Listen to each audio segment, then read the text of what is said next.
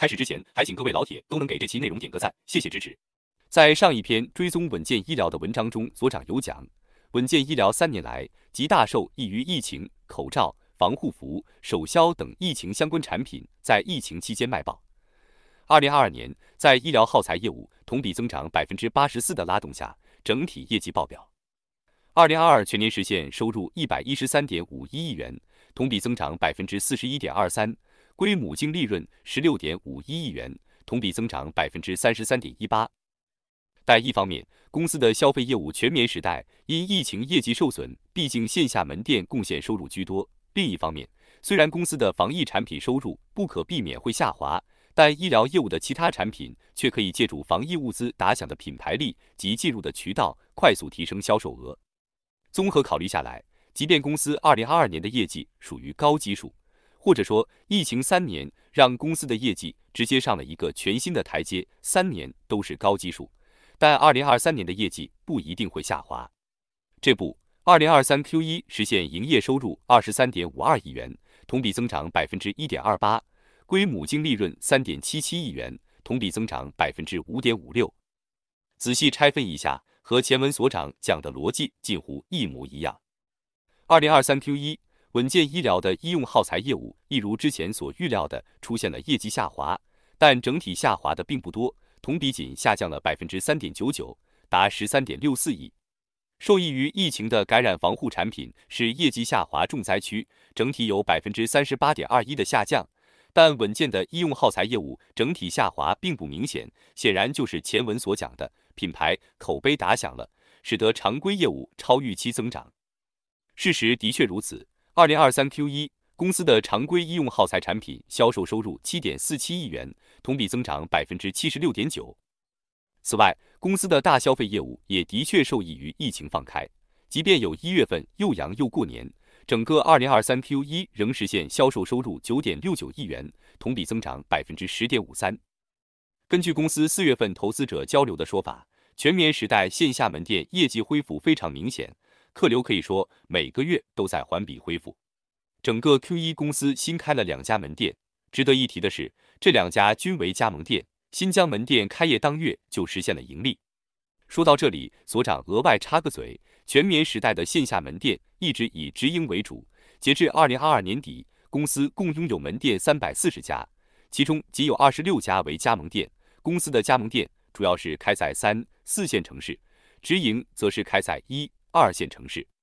公司针对二零二三年的目标是要开八十家门店，二零二二年公司仅新开店四十五家，很明显公司的开店步伐加快了。按照公司的说法，未来会聚焦三百杠四百平小店，让平效更高、利润率更好。门店未来还是以直营为主，但会加大加盟店的力度。别的不说，就公司名字而言，就让人很有好感。名字都叫稳健，自然说明公司文化就是追求稳健的。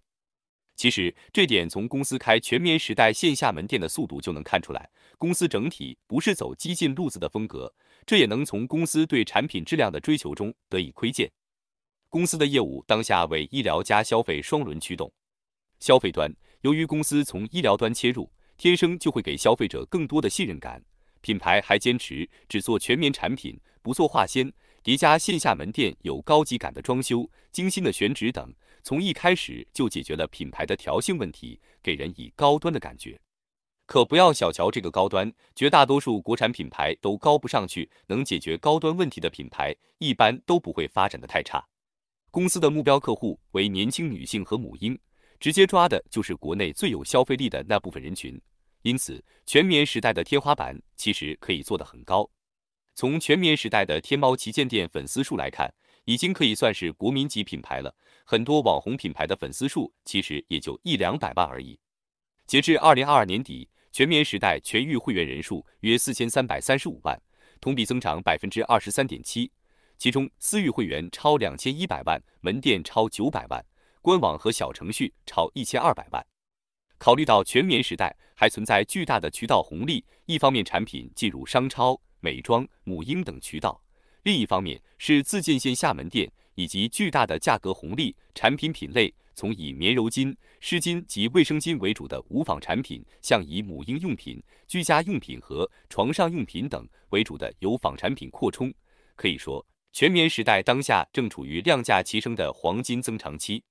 除了直接面向 C 端的消费级品牌全棉时代外，公司的医疗耗材业务其实也有巨大的增长空间。别看稳健医疗销售的产品都比较不起眼，如口罩、手消、防护服、伤口护理的纱布、创口贴，这些产品虽然客单价低，但使用频率却极高，全球市场空间其实非常大，总市场空间达千亿美金级别，未来三年还会以百分之八左右的复合速度增长。全球低值耗材的市场空间虽大，但国内很多场景还没有完全养成使用一次性产品的习惯，典型如手术室。大洋彼岸的漂亮国一次性手术室耗材渗透率为百分之八十至百分之九十，而国内只有百分之二十至百分之三十。一方面，国内的低值耗材市场空间整体还较小；另一方面，市场的集中度较低。换句话说，就是市场上处于早期。即便稳健医疗在低耗这块一年营收七十多亿，在国内的市占率也就在百分之五多点的样子。考虑到隔壁漂亮国龙头企业市占率在百分之三十至百分之四十间，稳健还有极大的提升空间。这不，疫情期间赚了这么多钱，公司反手就开始并购行业内可以产生协同效应的企业。二零二二年共进行了三笔并购，弥补自身的产品短板。由于公司自身的稳健属性，并购整体都比较顺利。在先前的投资者交流中，公司还专门提到自身的并购方法论。在此，所长一字不改，直接贴到下面。Q 去年收购了三家企业，在并购整合方面有什么方法论？答：公司始终坚持一，绝不跨行业并购，不做管控不了的渠道和商品；二，产品定位不走低价路线，要走价值路线；三，与并购标的的企业文化理念要相通；四，并购后的整合是关键。目前公司已成立了专门的投后管理团队，正在有序推进。根据公司的说法，二零二二年并购的三家企业同公司整体融合的较好，三家企业全年合计贡献约八点一亿收入，实现双位数增长。其中，龙泰医疗增速超百分之三十，桂林乳胶增速超过百分之二十，平安医械有所下降，主要是因为之前海外有一笔一次性大单。展望二零二三年，稳健对三家公司的预期是保持百分之二十至百分之三十的增速。通过并购补足自己的产品短板，单独售卖增厚业绩只是一方面，最重要的是可以根据对医疗终端场景的理解，将产品打包成组合包，为医院提供一站式解决方案。在之前讲迈瑞、联影、海尔生物、华大制造等医疗器械企业的文章中，所长就讲过，完善的一站式服务解决方案对甲方爸爸而言非常具备吸引力，毕竟省心省事还能省钱。而对于能提供一站式解决方案的企业而言，即便它有几款产品落后于竞争对手，但完善的产品矩阵整体性解决方案，相当于把竞争从单一单品、单一维度引向全产品、全系统、全维度。如此，头部企业的地位只会愈来愈稳。毕竟，小企业从某一方面弯道超车头部企业有可能，但要想全方位、方方面面超越就太难了。稳健医疗当下的两大主营。无论消费品牌全棉时代，还是医疗低值耗材，都具备极大的增长空间。三年疫情，稳健医疗除了收获一笔横财外，更重要的是收获了极高的企业美誉度和品牌知名度，在本就十分分散的行业中，拥有了极强的降维打击优势。因此，后疫情时代，稳健医疗的业务进展有望超预期。